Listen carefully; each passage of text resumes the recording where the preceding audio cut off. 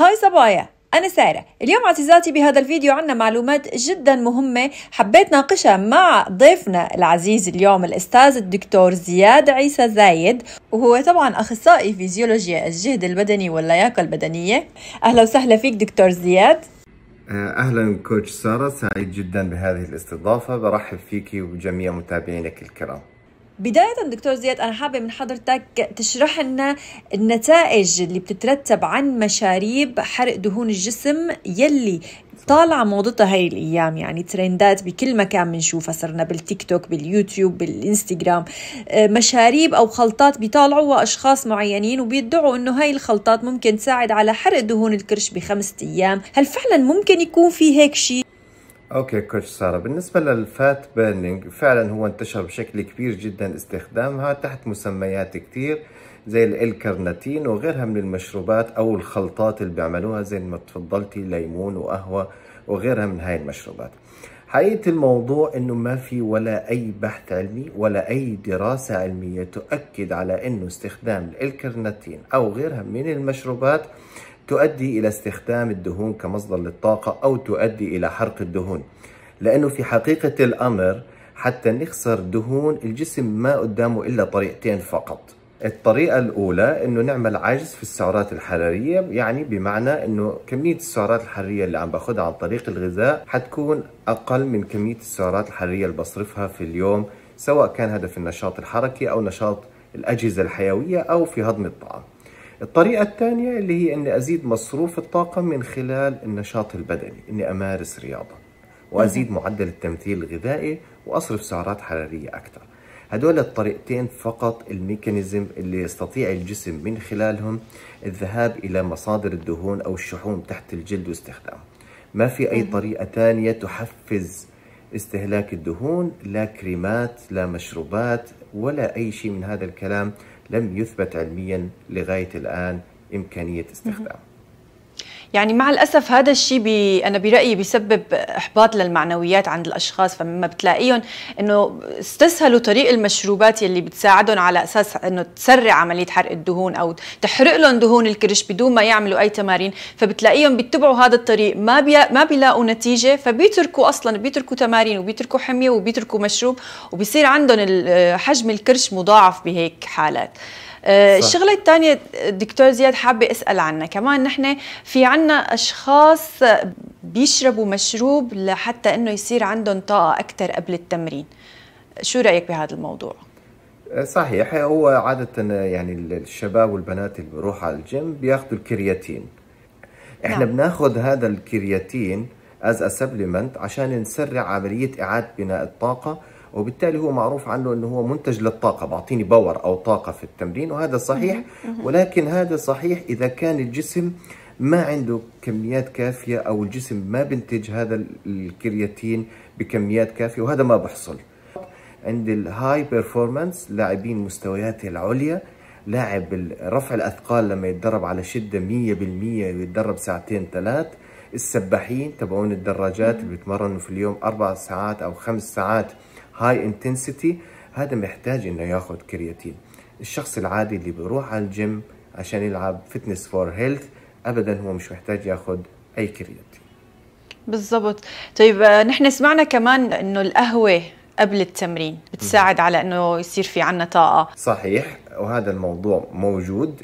الكافيين مهم جدا بإنه بيعمل شغلتين بالجسم. الشغلة الأولى إنه هو بحفز لنا الجهاز العصبي بزيد تركيزنا وبزيد الإشارات والسيالات العصبية. والإشي الثاني إنه في دراسات عم تحكي إنه ممكن يحفز انتشار الدهون في الدم عشان لاحقا أستخدمهم كمصدر للطاقة. ولكن يعني الشركات التجارية أخذت هاي المعلومة الصغيرة وبدأت تعمل منتجات كافيين على أساس إنه هي بتحرق دهون. وهذا أبدا مش صحيح لأنه عملية تحفيزها لانتشار الدهون في الدم عملية محدودة جدا يعني قد لا تؤثر على كمية الدهون الموجودة في الجسم وقد لا تساهم أصلا في حرق الدهون. ولكن إحنا دائما بننصح بأنه ناخذ كمية معتدلة من الكافيين فنجان قهوة أمريكية أو تركية قبل التمرين بحوالي 30 دقيقة لتنشيط الجهاز العصبي. ولكن كمان برضو لازم ننتبه إنه في كثير من الأشخاص بياخذ كميات عالية من الكافيين. وهذا حيكون له side effect لأنه زي ما إحنا عارفين الكافيين حيعمل لي إدرار للبول آه، حيخلي لي في خلل في توازن المائي داخل الجسم بالإضافة إلى إنه حيرفع لي عدد ضربات القلب ال heart rate مزبوط. وهذا مزبوط، صحيح. وهذا راح يتنافى مع الفكرة اللي لما نروح نتمرن لما يكون عندنا ال heart rate عالي أصلا وندخل على التمرين راح يعمل لي عدم انتظام في دقات القلب اللي حشتغل عليها أثناء التمرين طيب دكتور زياد هلا بدي رأيك بالمكملات الغذائية. كشخص بيقوم بالتمارين الرياضية بشكل يومي أو شخص ما بيتمرن لكن ممكن يعمل عمل مكتبي على سبيل المثال. شو هي المكملات الغذائية اللي ينصح بتناولها هدول النوعين من الأشخاص؟ طيب كوتش سارة أول شيء خلينا نتفق إنه السبلمنت أو المكملات الغذائية هي منتجات آمنة. وهذا من تصنيف الهيئة الأمريكية للغذاء والدواء. ومعترف فيه في كل الدول العالم. المكملات الغذائية ليس كما يعتقد البعض إنها منشطات. أبدا في فرق كبير بين ال supplement وال doping. المكملات الغذائية تؤخذ من كبار السن للمرأة الحامل آه، من الأطفال آه، كل فئات المجتمع. ولكن هنا إحنا دائما بنقول لابد إنه يكون في استشارة للطبيب. إذا بغطوا احتياجاتهم من الغذاء فهذا ممتاز جدا. إذا لم أستطع أن أغطي احتياجي من العناصر الغذائية من الغذاء فأنا لازم آخذ هذا عن طريق السبلمنت عشان هيك سميت مكملات غذائية عشان تكمل لي الغذاء. بنوصل لنقطة جدا جدا وجدا مهمة وأنا هاي يعني الصراحة كثير من بناتي بحاول أشرح لهم إياها وأقنعهم فيها. لكن آه يعني في إهمال لهذا الموضوع. لما البنت بدها تشتغل على عضلة معينة أو مثلا تكبر عضلة معينة أو حتى تشد الترهلات على سبيل المثال فبتلاقيها بتعمل الرياضة بقناعتها أنه هاي التمارين هي يلي رح تشد. لكن الشيء اللي بتعمله غلط بعد التمرين إنه بتهمل تناول البروتين الكافي. سو so, بدنا إياك دكتور زياد تشرح لنا عن أهمية البروتين بهذا الموضوع وكيف تتناول البروتين سواء قبل التمرين أو بعد التمرين وشو الكمية مثل ما تفضلت إنه الكمية المناسبة إذا كانت هي بتشتغل بوزن الجسم تمارينها بوزن الجسم أو لا في عندها مثلا بتحمل أثقال أو بتشتغل بالأوزان. تمام coach سارة. طيب هو فعلا موضوع البروتين موضوع مهم جدا. خلينا نوضح في البداية نقطة مهمة جدا. الناس بيعتقدوا إنه أنا لازم آخذ بروتين بس إذا بلعب hypertrophy أو ضخامة عضلية يعني إذا أنا بدي أكبر عضلاتي لازم آخذ بروتين. طب إذا ما بدي أكبر عضلاتي؟ طب إذا ما بلعب رياضة؟ بالعكس يا جماعة البروتين هو مهم لكل أفراد المجتمع صغارا كبارا رجالا نساء. لأنه البروتين هو مسؤول عن بناء وتجديد الخلايا في الجسم. ومش بس هيك هو له علاقة بالأظافر له علاقة بالشعر له علاقة بالبشرة له علاقة بكثير مواد أو وظائف أساسية في الجسم. الآن إحنا كم نحتاج بروتين في اليوم؟ وهل بيختلف الاحتياج من شخص لشخص؟ أكيد. الناس العاديين البالغين تقريبا بيحتاجوا واحد جرام لكل كيلو جرام من وزن الجسم. فإذا كان شخص أو فتاة عمرها وزنها 60 كيلو فهي محتاجة تقريبا 60 جرام من البروتين في اليوم. آه الآن بيبدأ هذا الاحتياج من البروتين يزيد مع ممارستنا للنشاط البدني وحسب طبيعة النشاط البدني. إذا كان عم نتمرن بوزن الجسم عم نلعب أنشطة تحملية عم نعمل cardio بنحضر حصص جماعية أيضا محتاجين حتى لو ما لعبنا حديد محتاجين يزيد عندنا البروتين وممكن يوصل لحوالي واحد ونص جرام لكل كيلو جرام من وزن الجسم.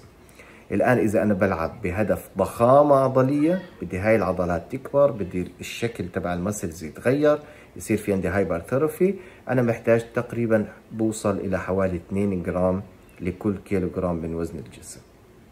بس طيب أكثر من هيك المبالغة. بالضبط. هاي لسه اللي عم بحكيها لازم ننبه إنه الناس اللي بقول لك خذ قد ما بدك بروتين. في الآخر إذا ما ما نفعك ما حيضرك وهي مقولة خطيرة جدا وغير علمية بالضبط. لأنه الزيادة في كميات البروتين راح تستغربوا إيش بصير أول إشي أنا بضع عبء إضافي على الكليتين وهدول الناس اللي بيأخذوا كميات بروتين عالية عادة بعد فترة ست شهور أو سنة ممكن يتعرضوا إلى الفشل الكلوي وهذا الموضوع خطير جدا.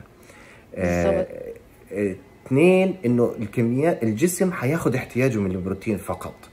هيك الجسم مبرمج تبعنا. بأخذ احتياجه من الدهون من الكارب كل شيء بأخذ احتياجه منه فقط والباقي إما يخزن وإما يضع عبء على الجسم. فالبروتينات الزيادة لما نأخذ أكثر من احتياج الجسم حيطلع جزء منها أكرمكم الله مع البول حيتخلص منه الجسم وفي جزء بسيط ما حيقدر يطلعه الجسم.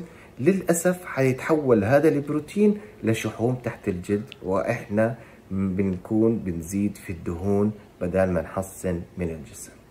فعلا المعلومات كانت جدا مفيدة ومهمة لكل صبية. دكتور زياد نحن بنتشكرك كثير آه وإن شاء الله بنستقبلك بحلقات أكثر بنحكي عن معلومات أكثر وكمان عزيزاتي بصندوق الوصف فيكم تشوفوا رابط قناة الدكتور زياد. عنده قناة باليوتيوب يحكي فيها معلومات كثير مهمة عن التمارين الرياضية وعن مصادر الطاقة. رابط قناة الدكتور زياد تحت بصندوق الوصف. شكرا لك كوتش سارة. بكرر شكري لك على الاستضافة والشكر طبعا لجميع متابعينك ولقناتك على اليوتيوب. تسلم شكرا كثير so so, عزيزاتي هذا كان كل شيء لليوم. إذا عجبك الفيديو لا تنسي تعملي like والاشتراك بالقناة إذا كنتي مشاهدة جديدة. بحبكم كثير بشوفكم بعدين. bye